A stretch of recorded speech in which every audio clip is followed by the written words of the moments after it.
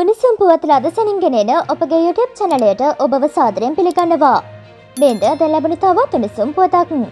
කෝටි එක් හමාරක් වටිනා රත්රන් රේගෝ විසින් අත්තරංගොඩ ගත් පසු වජර අබේවර්ධන මහතා විසින් රේගු අධ්‍යක්ෂක ජනරාල්ට බලපෑම් කර සත පහක් නොදී නිදහස් කර ඇතැයි නීතියක්න නාගානන්ද කොඩිතුවක්කු මහතා සඳහන් කරයි. වජරාබේ වර්ධන මහතා මෙය ප්‍රතික්ෂේප කළද පලක් නොවන බවත් බලපෑම් කළ නිසා බවද ලිඛිතව සඳහන් වන බවද ඔහු තවතුරටත් කියා සිටි.